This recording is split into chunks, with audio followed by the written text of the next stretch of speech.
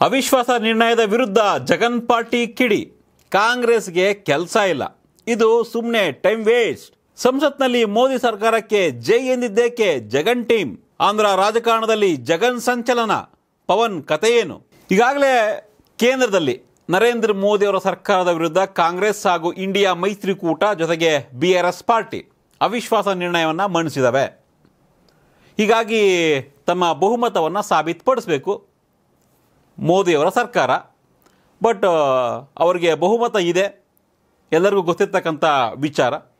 ನರೇಂದ್ರ ಮೋದಿಯವರು ಬಹುಮತವನ್ನು ಗೆದ್ದೇ ಗೆಲ್ತಾರೆ. ಇದರಲ್ಲಿ ಯಾವುದೇ ರೀತಿಯ ಡೌಟ್ ಇಲ್ಲ. ಹೀಗಿದ್ದರೂ ಕೂಡ ಕಾಂಗ್ರೆಸ್ ಯಾಕೆ? ಅಥವಾ ಕಾಂಗ್ರೆಸ್ನ ಮೈತ್ರಿಕೂಟ ಇಂಡಿಯಾ ಮೈತ್ರಿಕೂಟ ಯಾಕೆ ಅವಿಶ್ವಾಸ ನಿರ್ಣಯವನ್ನು ಮಂಡಿಸಿದೆ ನರೇಂದ್ರ ಮೋದಿ ಸರ್ಕಾರದ ವಿರುದ್ಧ ಸಾಕಷ್ಟು ಜನರಿಗೆ ಒಂದು ರೀತಿ, ಏ, ಯಾಕಪ್ಪ ಈ ಥರ ಟೈಮ್ ವೇಸ್ಟ್ ಮಾಡ್ತಾರೆ? ಸುಮ್ಮನೆ ಟೈಮ್ ವೇಸ್ಟು ಕಲಾಪ ವೇಸ್ಟು ಅಂತ ಅನ್ನಿಸ್ಬಹುದು. ಅದೇ ರೀತಿಯಾಗಿ ಈಗ ಆಂಧ್ರದಲ್ಲಿ ಸಿ ಎಂ ಆಗಿರ್ತಕ್ಕಂಥ ಜಗನ್ಮೋಹನ್ ರೆಡ್ಡಿ ಅವರ ಪಕ್ಷ Y S R C P ಕೂಡ ಇದಕ್ಕೆ ಆಕ್ರೋಶವನ್ನು ವ್ಯಕ್ತಪಡಿಸಿದೆ. ಸುಮ್ಮನೆ ಮಾಡೋ ಕೆಲಸ ಇಲ್ಲ ಕಾಂಗ್ರೆಸ್ನವ್ರಿಗೆ ಮತ್ತು ವಿಪಕ್ಷಗಳಿಗೆ ಇರೋ ಟೈಮನ್ನು ವೇಸ್ಟ್ ಮಾಡ್ತಾ ಇದ್ದಾರೆ. ಸೊ ಯಾವುದೇ ಕಾರಣಕ್ಕೂ ಈ ಅವಿಶ್ವಾಸ ನಿರ್ಣಯ ಮಂಡನೆಗೆ ಅವಕಾಶ ಕೊಡಬಾರ್ದು ಅಂತ Y S R C P ತಮ್ಮ ಅಭಿಪ್ರಾಯವನ್ನು ವ್ಯಕ್ತಪಡಿಸಿದೆ. ಲೋಕಸಭೆಯಲ್ಲಿ ವಿಚಾರವಾಗಿ ಮಾತನಾಡಿರ್ತಕ್ಕಂಥ ವೈ ಎಸ್ ಆರ್ ಸಿ ಪಿಯ ಸಂಸದರು ಯಾಕೆ ಬೇಕಿದು? ತುಂಬ ನೆಗ್ಲೆಕ್ಟ್ ನೆಗ್ಲಿಜೆನ್ಸಿ ಮೂಮೆಂಟ್ ಇದು ಕಾಂಗ್ರೆಸ್ದು. ನರೇಂದ್ರ ಮೋದಿಯವರು ಗೆದ್ದೇ ಗೆಲ್ತಾರೆ ಅವಿಶ್ವಾಸ ನಿರ್ಣಯದಲ್ಲಿ, ಅವರಿಗೆ ಬಹುಮತ ಇದೆ. ಯಾಕೆ ಈ ಈ ರೀತಿಯ ಒಂದು ಮೋಷನನ್ನು ಮೂವ್ ಮಾಡಬೇಕು ಅಂತ ಪ್ರಶ್ನೆ ಮಾಡಿದೆ. ಜೊತೆಗೆ, ಇದರಿಂದ waste of time waste of money ಅಷ್ಟೇ ಅಂತ ಜಗನ್ ಅವರ ಪಾರ್ಟಿಯ ಸಂಸದರು ತಮ್ಮ ಆಕ್ರೋಶವನ್ನು, ತಮ್ಮ ಮನವಿಯನ್ನು ಸಲ್ಲಿಸಿದ್ದಾರೆ ಸ್ಪೀಕರ್ಗೆ ಆದರೆ, ಇದರ ಹಿಂದೆ ಮುಂಬರುವ ಲೋಕಸಭಾ ಚುನಾವಣೆಯ ದೃಷ್ಟಿಯಲ್ಲಿ ನೋಡಿದಾಗ ಜಗನ್ ಎಲ್ಲೋ ಒಂದು ಕಡೆ ಮೋದಿಯ ಪರವಾಗಿ ವಾಲ್ತಾ ಇದ್ದಾರ ಆಗಿದ್ರೆ ಅನ್ನೋ ಚರ್ಚೆ ಕೂಡ ಆಗ್ತಾ ಇದೆ. ಒಂದು ಕಡೆ ಪವನ್ ಕಲ್ಯಾಣ್ ಅವರನ್ನು ಎನ್ ಡಿ ಎ ಮೈತ್ರಿಕೂಟಕ್ಕೆ ಕರೆದಿದ್ದು ಆಹ್ವಾನವನ್ನು ಕೊಟ್ಟಿದ್ದು, ಜನಸೇನಾ ಪಕ್ಷದ ಅಧ್ಯಕ್ಷ ನಟ Pavan Kalyan N D A ಮೈತ್ರಿಕೂಟದ ಸಭೆಯಲ್ಲಿ ಭಾಗಿಯಾಗಿದ್ದು, ಅದಾದ ನಂತರ ಕೆಲವೊಂದಿಷ್ಟು ಬದಲಾವಣೆಗಳಾಗ್ತಿದ್ದಾವೆ. ಜಗನ್ಮೋಹನ್ ವಿರುದ್ಧ ಬಿ ಜೆ ಪಿ ಹಾಗೂ ನರೇಂದ್ರ ಮೋದಿ ಸೇರಿದಂತೆ ಸಾಕಷ್ಟು ಬಿ ಜೆ ಪಿ ನಾಯಕರು ಆಕ್ರೋಶವನ್ನು ವ್ಯಕ್ತಪಡಿಸ್ತಾ ಇದ್ರು.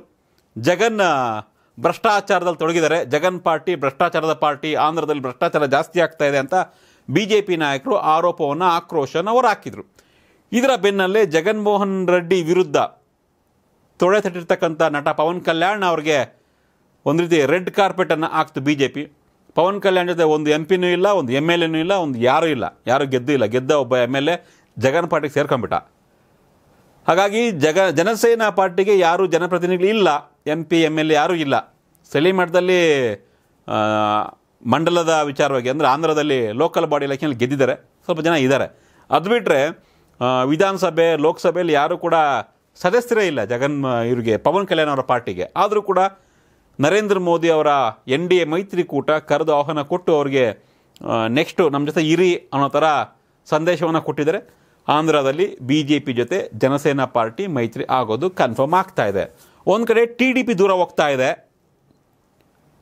ನರೇಂದ್ರ ಮೋದಿ ಮತ್ತು ಬಿ ಜೆ ಪಿಯಿಂದ ಜಗನ್ ಹತ್ರ ಆಗೋದಕ್ಕೆ ಟ್ರೈ ಮಾಡ್ತಾ ಇದ್ದಾರಾ ಅನ್ನೋ ಒಂದು ಚರ್ಚೆ ಆಗ್ತಾ ಇದೆ.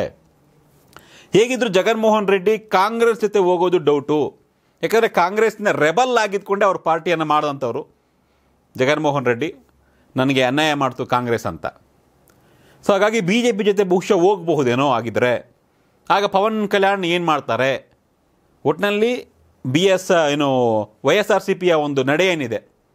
ಲೋಕಸಭೆಯಲ್ಲಿ ಕಾಂಗ್ರೆಸ್ ವಿರುದ್ಧ ಏನು ಅವಿಶ್ವಾಸ ನಿರ್ಣಯ ಮಂಡಿಸ್ತಾ ಇದೆ ಕಾಂಗ್ರೆಸ್ ನರೇಂದ್ರ ಮೋದಿ ಸರ್ಕಾರದ ವಿರುದ್ಧ. ಅದರ ವಿರುದ್ಧ ಆಕ್ರೋಶವನ್ನು ಹೊರಹಾಕುವ ಮೂಲಕ ನರೇಂದ್ರ ಮೋದಿ ಪರ ತಮ್ಮ ಒಲವನ್ನು ವ್ಯಕ್ತಪಡಿಸ್ತಾ ಇದೆ. ಮುಂಬರುವ ದಿನಗಳಲ್ಲಿ ಬಹುಶಃ ಮತ್ತಷ್ಟು ಡೆವಲಪ್ಮೆಂಟ್ ಆದರೆ Y S R C P ಕೂಡ ಎನ್ ಡಿ ಎ ಭಾಗ ಆಗಬಹುದು ಆಗಿದ್ರೆ. ನೋಡೋಣ ಏನಾಗುತ್ತೆ ಆಂಧ್ರ ರಾಜಕಾರಣದಲ್ಲಿ, ಲೋಕಸಭಾ ಮತ್ತು ವಿಧಾನಸಭೆ ಎರಡೂ ಕೂಡ ಒಟ್ಟಿಗೆ ಬರುತ್ತೆ. ಆಂಧ್ರದ ಎಲೆಕ್ಷನ್ನಲ್ಲಿ ಆಂಧ್ರ ವಿಧಾನಸಭೆ ಕೂಡ ಎಲೆಕ್ಷನ್ ಆಗುತ್ತೆ. ಯಾರು ಗೆಲ್ತಾರೆ, ಯಾರು ಸೋಲ್ತಾರೆ, ಎನ್ ಡಿ ಎ ಭಾಗವಾಗಿ ಯಾರು ಹೋಗ್ತಾರೆ, ಟಿ ಡಿ ಪಿ ಏನಾದರೂ ಬರ್ತಾರಾ ಅಥವಾ ಟಿ ಡಿ ಪಿಗಿಂತ ಮುಂಚೆನೇ ಜಗನ್ ಏನಾದರೂ N D P, N D A ಸೇರ್ಕೊಳ್ತಾರಾ? ಏನಾಗುತ್ತೆ ಈಕ್ವೇಷನ್ಸ್ ವೆಯ್ಟ್ ಮಾಡೋಣ. ನಿಮ್ಮ ಪ್ರಕಾರ ಜಗನ್, ಮೋದಿ ಪಾರ್ಟಿಗೆ ಸಪೋರ್ಟ್ ಮಾಡ್ತಾರಾ? ಚುನಾವಣಾ ಮೈತ್ರಿ ಆಗುತ್ತಾ? ಎನ್ ಡಿ ಎ ಮೈತ್ರಿಗಳನ್ನು ಸೇರ್ತಾರಾ? ಪವನ್ ಕಲ್ಯಾಣ್ ಏನು ಮಾಡ್ತಾರೆ? ಏನಾಗಬಹುದು ಆಂಧ್ರ ರಾಜಕಾರಣದಲ್ಲಿ? ಕಮೆಂಟ್ ಮಾಡಿ ತಿಳಿಸಿ. ಧನ್ಯವಾದಗಳು. ಕರ್ನಾಟಕ ಟಿ ಇದು ಕನ್ನಡಿಗರ ಧ್ವನಿ.